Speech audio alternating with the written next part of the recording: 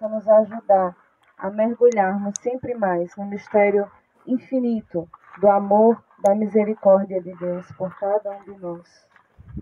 Rezemos ainda nas intenções do Santo Padre, o Papa Francisco, para alcançarmos as exigências da meditação desta via sacra.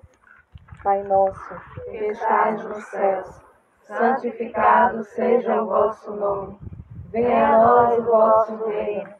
Seja feita a vossa vontade, assim na terra como no céu. O pão nosso de cada dia nos dai hoje.